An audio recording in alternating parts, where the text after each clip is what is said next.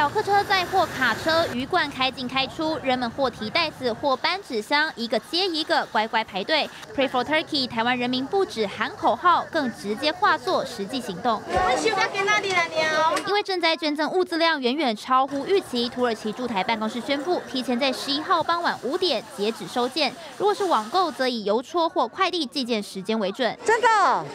哦，真的？那还好，我来了。会会会，我等一下会跟大家讲。哦，真的吗？哦，好险我没有赶到。我知道，打电话问过。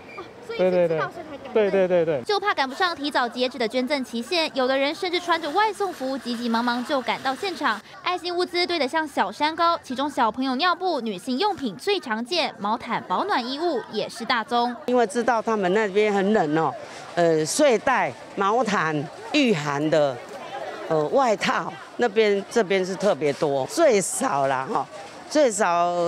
呃，在五千箱应该是超过啦，但应该是到明天凌晨吧，十五号我们就要完成了。慈济动员一千三百名志工，截止收件后，还得将物资依序分类贴上标签，就希望能赶在四天时间里，将物资用最快速度送到土耳其。卫福部土耳其赈灾专案，短短四天也接获超过两亿七千万捐款，全台民众有钱出钱，有力出力，用爱心陪伴土耳其灾民渡过难关。新闻改美新徐伟成采报道。